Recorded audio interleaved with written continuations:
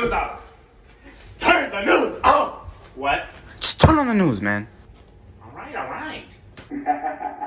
it's a great day in Gotham. It's a great day in Gotham. We gotta celebrate. Why, why is it a great day? Why is it a great day? I'll tell you why. Because Batman, our very own Batman, just locked up the Joker, took him to prison. Yeah, he, he got out. The lock's made out of plastic or something? Ah! This is the third time it's marked bro. I can't keep going. I want like skateboarding because it keeps me in mental um, and physical shape.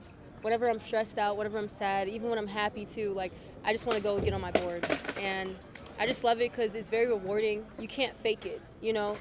The amount of effort you put in is exactly the amount of or whatever expected results you're gonna get out of it. And that's why I like it because everyone that skates, I feel like, is a real person in terms of you know to not give up. You know that if you land a trick, that's because you took hours to learn it. You know, you can't just BS anything.